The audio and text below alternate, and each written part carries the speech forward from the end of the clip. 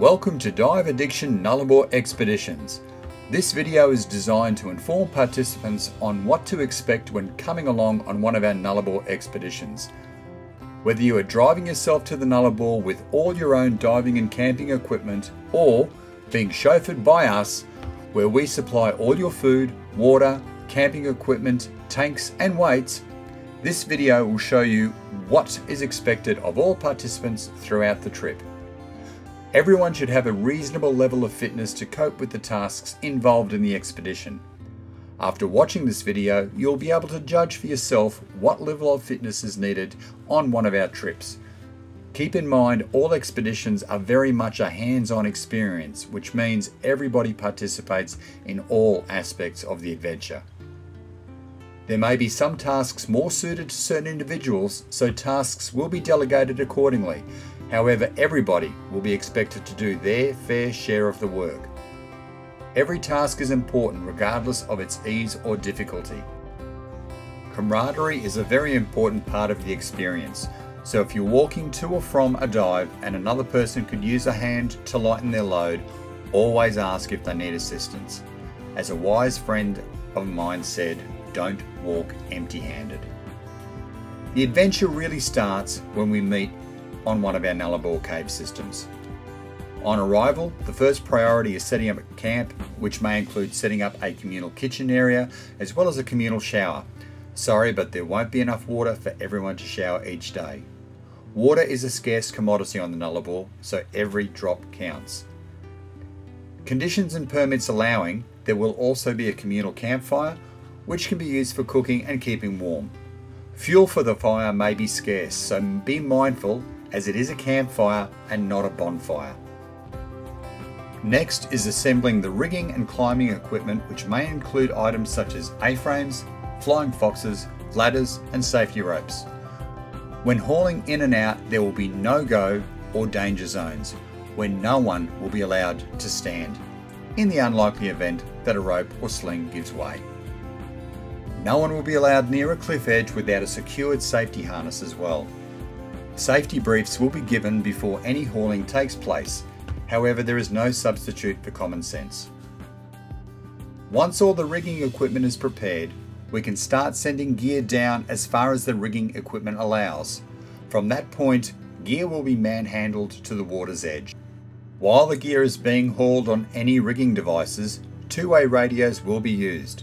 Remember to keep communications clear and concise as well as announcing who is speaking and to whom the message is intended. For example, Joseph to Steve, ready for the next drop, over. Steve to Joseph, go ahead, over. Also, when using ladders or ropes, first check there was no one on the ladder or rope. Second, call out on ladder or on rope. Then lastly, once off, call out off rope or off ladder. Most people are more than happy climbing the ladders. However, should you wish to be belayed, then buddy up with someone willing to do this. And remember when on the ladder, three points of contact at all time. There is no easy way of getting to the water, but there are ways to minimise the effort required. The rigging equipment decreases the physical effort required to transport the gear over the rocky terrain, well, at least most of the way.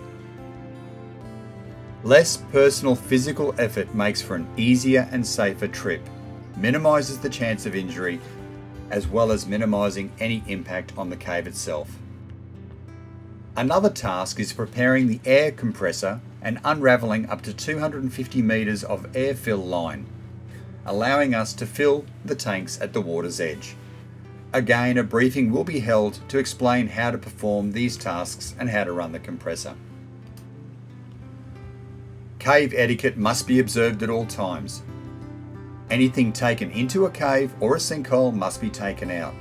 Yes, that means carrying a good quality bag and biodegradable toilet paper should nature call at the wrong time.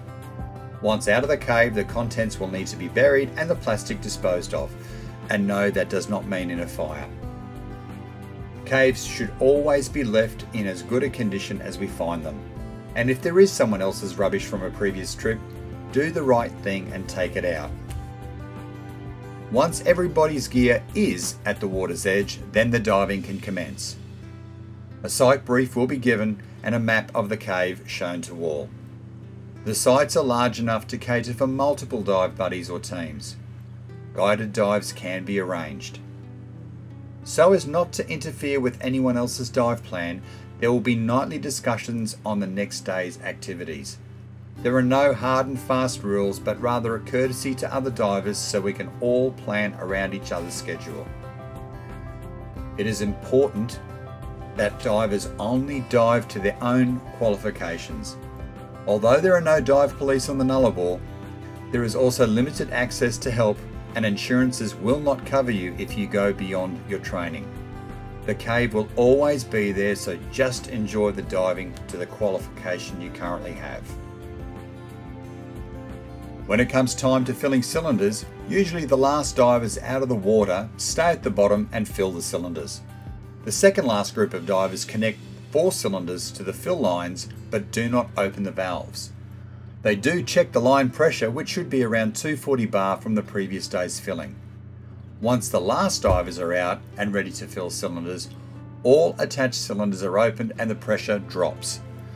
This tells those topside that the compressor is ready to be started. How the cylinders are changed will be explained during the compressor briefing. Again, this is a task that is shared around with everybody. It is important that all divers completely remove all first stages from cylinders being filled, as those filling are not accountable for lost O-rings or damaged regulators. Diving followed by exercise is not recommended, so always do more time than required by your computer for safety stops and decompression stops.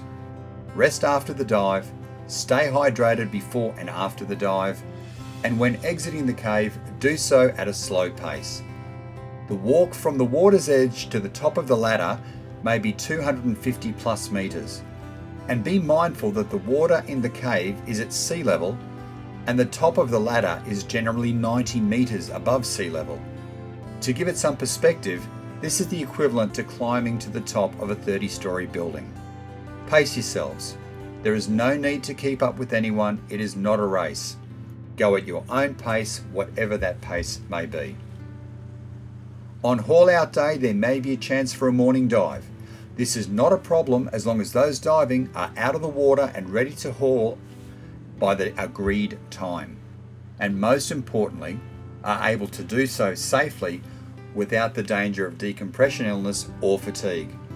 It is still a team effort while hauling out. Part of the haul out is collecting the airfill line, packing the compressor, disassembling the Flying Fox and A-frame and packing away all of the equipment. After everything is packed away, then we can start packing our own individual gear and of course packing up camp, which usually takes place the next day. The campsite is always thoroughly checked for cleanliness and that we do not leave any rubbish behind. So if you've driven, you are now free to depart on your journey home, and if you've been chauffeured, then it's time to chill on the drive to Perth. In closing, when planning for the Nullarbor, Always remember this is an expedition. If you want it, bring it.